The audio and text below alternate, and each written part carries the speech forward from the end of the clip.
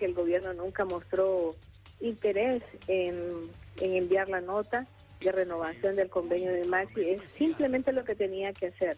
Eh, hizo mil y una eh, eh, acción para impedir que la Maxi siguiera. Sabemos que la corrupción en este país viene desde las más altas esferas.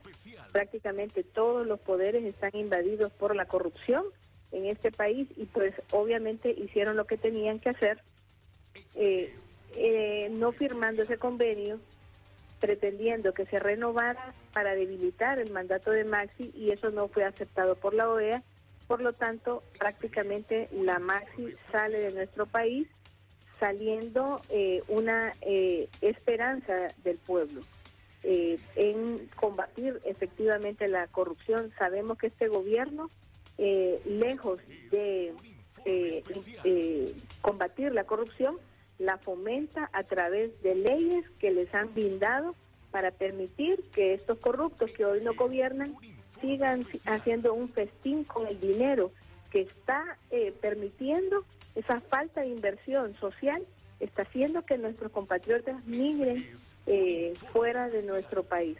Es verdaderamente lamentable es verdaderamente eh, un, un zarpazo al pueblo hondureño, más de los que ya le ha dado este gobierno, y obviamente solamente la movilización del pueblo puede hacer nuevamente que eh, se firme un convenio fortaleciendo la acción eh, de Maxi en nuestro país.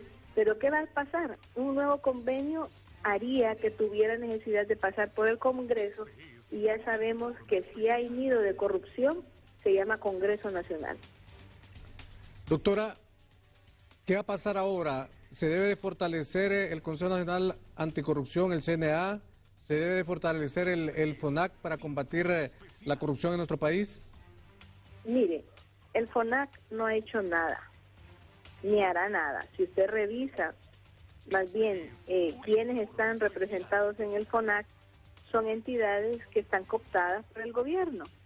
Justamente por eso salieron antes eh, eh, diciendo que el FONAC eh, iba a ser un nuevo institución de combate a la corrupción. Aquí nadie está combatiendo la corrupción en realidad.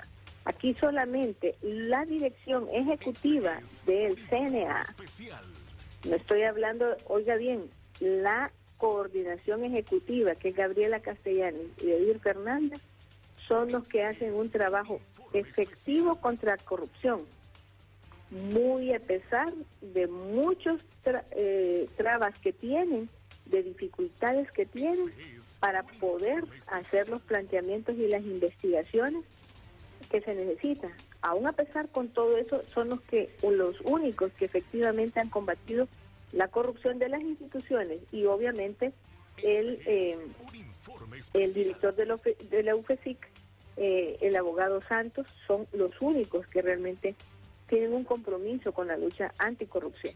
Pero de ahí ningún poder del Estado ha hecho eh, una acción de combate a la corrupción. Por, por el contrario, han fomentado, se han blindado, han legislado para permanecer impunes ante los genocidios, ante los delitos de lesa humanidad que se han cometido en este país y que siguen eh, quitándole los derechos fundamentales a la población. La corrupción es un flagelo que parece interminable en nuestro país y que parece eh, todavía peor ahora que la Maxi eh, se ha ido de nuestro país.